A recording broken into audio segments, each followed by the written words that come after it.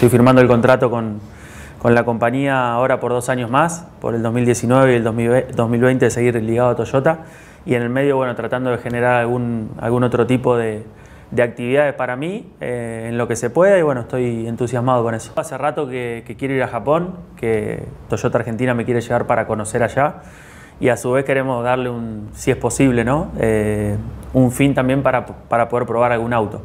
Así que estaría muy bueno, eh, me encantaría y bueno, estamos trabajando en silencio.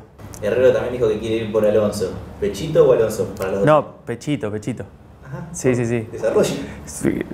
Que se arregle Alonso con, con, Santero o Santero con Alonso. Nada, yo voy con Pechito. Yo, si me preguntaba a mí, voy con Pechito. No lo cambiás. Que decida Darío, Herrero. ¿Pero en especial, digamos? Y porque merecemos una revancha, porque el año pasado veníamos segundo ahí con grandes chances de pelear el campeonato.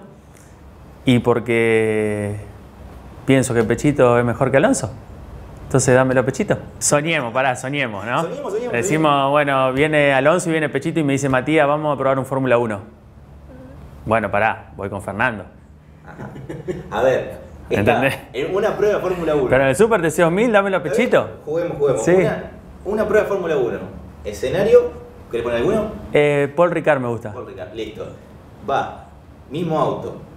Matías Rossi, después se sube Pechito López, y Fernando Alonso. ¿Cómo quedan en el clasificador? Alonso, López y Rossi. ¿Seguro? Sí, seguro. ¿Mucha diferencia hay? Y hay diferencia. Super TC2000.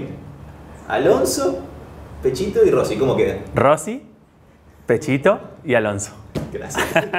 Gracias a ustedes.